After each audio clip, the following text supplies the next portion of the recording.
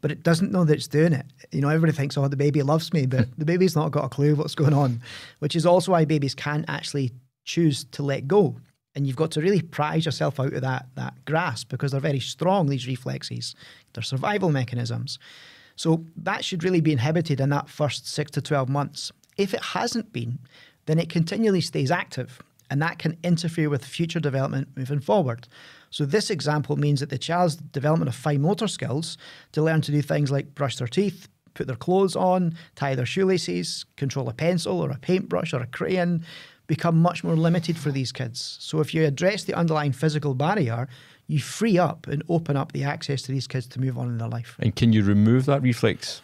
It's not so much removing it, it's inhibiting it so that you and I both have our primitive reflexes in our central nervous system. They're just dormant. They're just not active at all because they've been superseded because of experience, good genetics, hopefully. I'm not sure. Mm-hmm. good lifestyle or, or whatever. So we've got much more control over ourselves. We've got voluntary control over what we do. Those who have a, a cluster of primitive reflexes, that's involuntary control. So it'll just fire up whenever it decides it needs to, rather than because you want it to. And that's the difference. So when you're testing a three or four year old, is there certain reflexes that you look for? Is, a, is there a group of five telltale reflexes? I mean, there's 14 primitive reflexes that you can test once uh, a child is born and stuff. There is something called a gag reflex as well, which is when babies can be born in water because they automatically know how to hold their breath.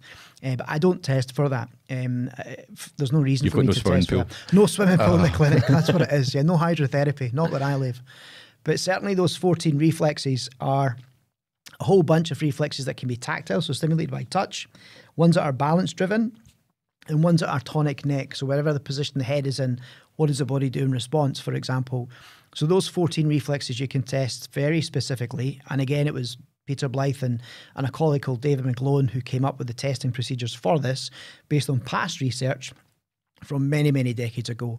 Um, and they've just really pieced it all together to, to what we now know as the INPP method. Wow.